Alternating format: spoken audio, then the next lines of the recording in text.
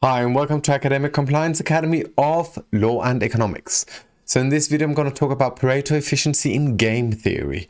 So Vilfredo Pareto invented this concept of Pareto efficiency when he was studying income distribution. Some call it efficiency, some call it optimality, some call it allocation. But what is it really about? So a Pareto efficient situation is a situation where we have a relationship, it could be two or multiple parties, and we cannot increase the value or the wealth for one party without decreasing the value of another party. When we reach such, such a status, we say that we are in a Pareto efficient situation. So we can see it up here from the Edgeworth box from microeconomics that when we have two different curves hitting each other and we cannot move any further without the other parties in different curves kind of move back, well, then we are in the Pareto efficient situation. But to get there, and this is actually the most interesting part because to get to that point where we really want to be, we can on the way make Pareto improvements. And these are the situations where we actually can improve the relationship between, let's say, two parties, where we improve one's wealth or value without hurting the other party. If that is possible, we should do it because it increases the value of the relationship and that is good in terms of economics. And by doing this, we're talking that we're making a Pareto improvement. We're improving the relationship between the parties. So let's put it into game theory. I put up a 2 by 2 matrix, kind of translated the efficiency term up here to saying Pareto efficient equals no player can improve payoff without another player being worse off.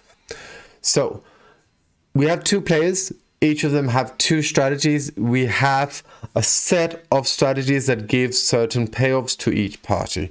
Let's start the analysis. We can just start from the strategy AC because there is no rule of where to start because we need to analyze all four conditions. So in AC, each party will get a payoff of two. What we should ask ourselves now is, what I highlighted in yellow, can any of the players gain more in payoff without hurting the other player's payoff? If the answer to that question is yes, then we can make a Pareto improvement and we should thrive to do so. If the answer is no, then we are at a Pareto efficient level and there's nowhere else to go. Not in terms of Pareto efficiency. So let's look at it. Because we can see that in strategy BC, player 1 gets a payoff of 2 and player 2 gets a payoff of 3. So we can actually here make a Pareto improvement if we move from AC to A, no, AC to BC. Because here player 2 will get one more in payoff without hurting player 1. So here we can make an imp uh, Pareto improvement, which we should thrive for to do. Can we make more improvements from here? So now we add BC giving 2.3 and we can see if we move to AD it will be 5.0 which means that player 2 will go down and player 1 will go up and the same accounts for strategy BD where player 1 will get 9 and player 2 will get minus 1 so we cannot really make any more Pareto improvements. Hence we are at a Pareto efficient level so we can now state that strategy BC is Pareto efficient. Now we will look at the two last outcomes and that is AD and BD. I already put out the results here because it is very clear that AD gives player 1 5, player 2 0. We cannot move anywhere without hurting either player 1 or player 2. Therefore, it is also a Pareto efficient um, strategy and the same accounts for strategy BD. So in this game, there's actually only one strategy that does not equal a Pareto efficient status, and that is strategy AC. So we have to remember when we're talking about efficiency, everyone says efficiency all around the world, all the time. Effectiveness, efficiency. We have to remember which type and also remember the critiques because as you saw in the game, well, sometimes player one could get nine and player two would get like minus one.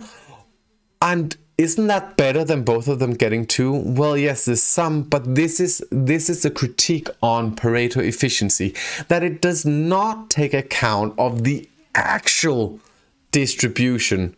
It it investigates if we can enhance it without hurting anyone. So, can we make the relationship better?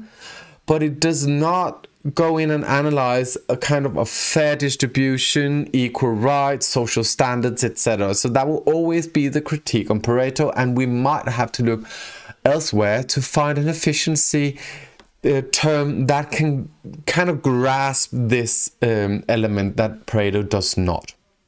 So this was just a video on Pareto efficiency in game theory. Stay tuned, subscribe to this channel and let's talk much more about law and economics.